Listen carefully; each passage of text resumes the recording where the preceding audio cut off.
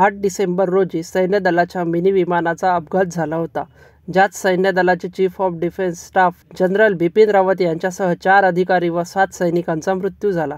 सैन्यदलाकरिता तसेच देशाकरिता ही फार मोठी हानी आहे. या वीरांना विनम्र अभिवादन करण्याकरिता एकवीस महाराष्ट्र एन सी सी बटालियनतर्फे मेणबत्ती रॅलीचे आयोजन करण्यात आले. सदर रॅली क्रीडा संकुल येथून निघून शहराच्या मुख्य रस्त्याने जाऊन हुतात्मा स्मारका पुढे रॅलीचे समापन झाले. एकवीस महाराष्ट्र बटालियनचे कमान अधिकारी कर्नल डी व्ही भास्कर यांच्या मार्गदर्शनाखाली एकशे साठ छात्रसैनिक व बारा एन सी सी अधिकारी सहभागी झाले. या खेळासाठी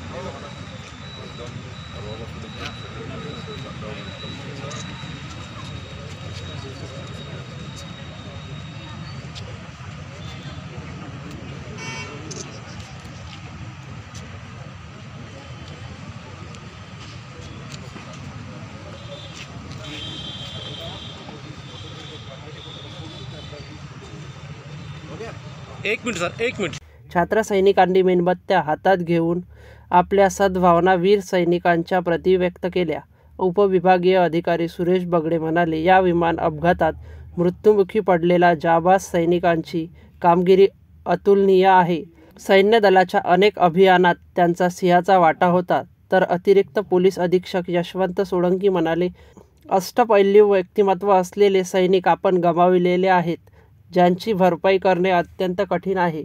या रॅलीत देवडीचे एस एस एन जे महाविद्यालय वर्धा शहरातील यशवंत महाविद्यालय जे बी सायन्स कॉलेज कोसे वाणिज्य महाविद्यालय new English school Kasturba Vidyamandir व मॉडेल हायस्कूलच्या कॅडेट्सचा समावेश होता. वीर जवान अमर रहे व भारत माता की जय जयघोष निनादात रॅलीचे समापन झाले.